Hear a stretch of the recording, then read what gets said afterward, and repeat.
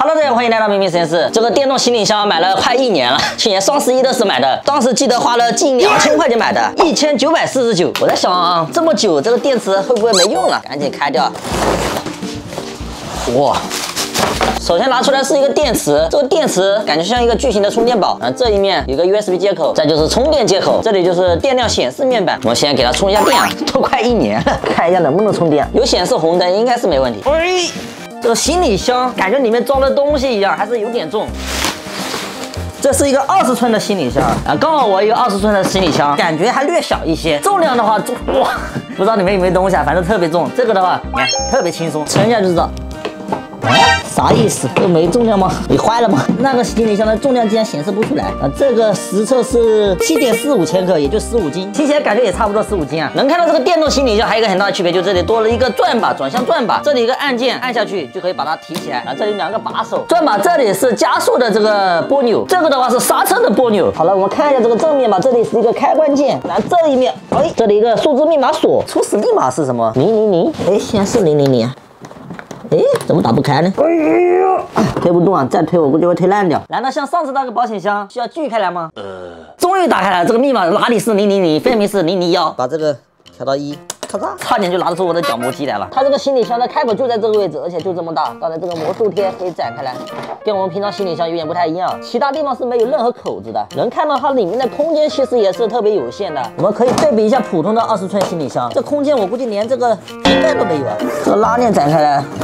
哇，能看到里面的内部空间，这里一个柱子，毕竟这里一个方向盘，然后里面哇，一个泡沫，这泡沫显得就有点廉价，然后还有一个控制器，然后估计还有发动机之类的，所有的这个控制设备是在这个里面，反正都是这么重的，这里不考虑用一个隔板吗？呃，这些都是用魔术贴粘住的，然后除了这里一个大的空间之外，这上面还有两个小包，这个包的话肯定就是放这个电池的，我们电池插上去，呃，电池放上去满满的，这里已经塞不了东西了，这个包，然后这个包。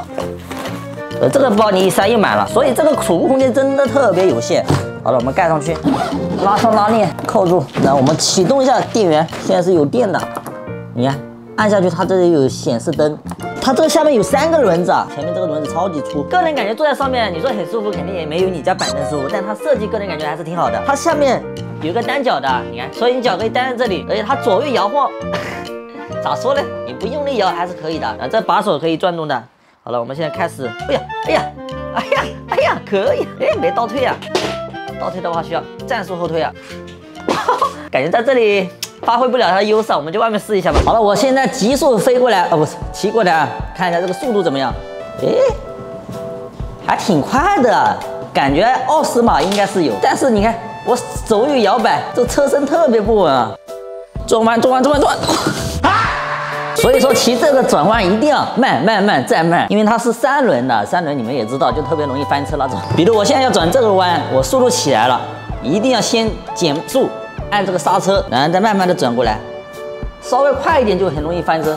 好了，这个电池我已经充满了电，然后我本来打算去路上实测一下这个续航还有这个速度的，但考虑到这个上路肯定是不行的。如果走人行道的话，很难应付这个复杂的路面，所以我在露台上实测一下这个续航有多远。好了，我要放下相机啊，这举着感觉有点不稳啊，随时可能会撞车啊，撞行李箱。哦，差点撞上去了，这个摇把根本就不敢用力转弯。骑上我心爱的小摩托。